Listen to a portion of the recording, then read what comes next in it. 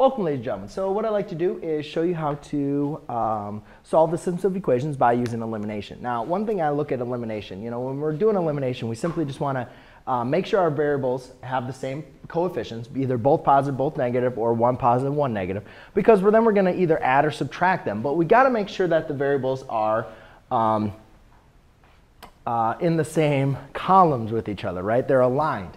And you can see here, um, I have v over t and then t over v. So that's not going to work. And it might be obvious in saying, oh, these, got, these aren't going to have the same coefficients, um, you know, but let's align them first. So by aligning them, what I have is 4t plus 10v equals 13, negative 4t minus 7v equals 11. Ooh, that looks much nicer, right? Because now I don't have to multiply by any multipliers. I can simply add these two equations and I'll eliminate the t variable because 4 minus 4 is 0.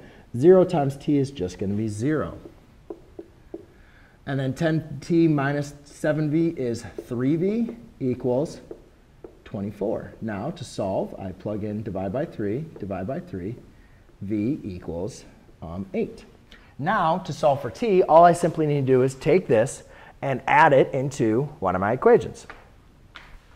So um, I can pick any equation I want to. I will pick the second equation. So it says negative 4t minus 7v equals 11.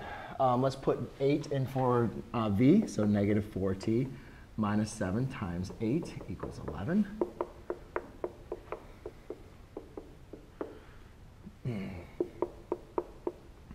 Oh, what am I doing. So I got add 56, add 56, add 56. So negative 4t equals 67, which I do not believe 67 is going to go in there. Um, it does not. So let's divide by negative 4, divide by negative 4. t is going to equal, I believe, um, 16 and 3 quarters or a negative 16.75. Um, let me just go and double check that because that'd be 16 and 3 quarters. So 67 divided by, yep, very good. All right, so there you go, ladies and gentlemen. That is how you solve the system using elimination. Thanks.